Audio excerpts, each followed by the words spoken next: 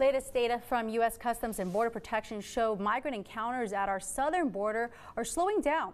This as triple-digit heat fast-track removals and Mexico's crackdown on train riders slow people trying to cross into the U.S.